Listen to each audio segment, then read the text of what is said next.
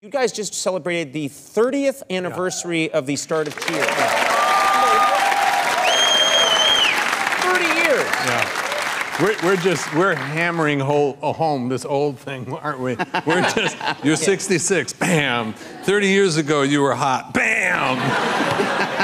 I didn't say that. I said that's a, that's a that's a it's such an iconic. It's Yeah. probably one of the most iconic television shows of all time, and it's Yeah, been it- 30 years since it started. I know. We had this reunion, and it was the writers and the actors, and everyone got together, and it was really sweet. But before the dinner, we decided to let Entertainment Tonight come in because, and interview us because we had come up at the same time at Paramount Studios. Cheers and Entertainment. You guys both started at the same time. Yeah. So in came this very sweet lady and was interviewing. In, in our defense, it was noisy, it was loud, but she she kept saying like, "Do you think there'll be a Cheers reunion show?" And you saw a bunch of people in their 60s going, "What? What did she say?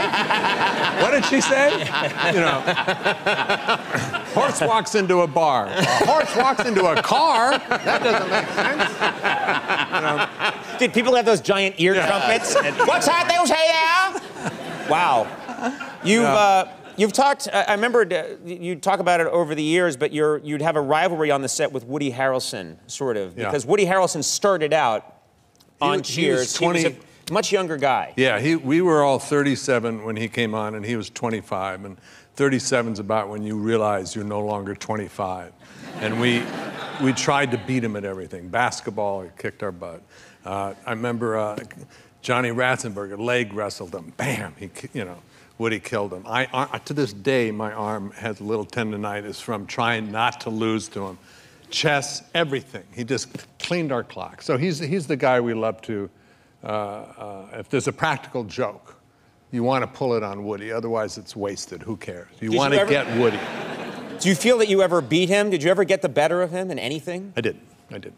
There was a, uh, when we were in our heyday, people would come watch us, audiences would come watch us rehearse, not just the show night, but rehearse. And we were rehearsing, and everyone was saying, Woody, and the cast, for God's sakes, man, wear some underwear. He was in sweatpants, you know, and it was like, come on, you know, that's ridiculous. You know, Right. put a jockster, something.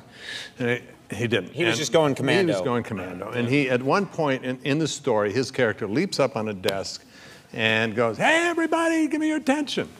And there's an audience like this watching, and I, it was just like, Oh, I have to do this. Whoosh. Came down in sweatpants, and he was horrified. And probably rehearsing, he was a little nervous, so, you know, he was doubly horrified.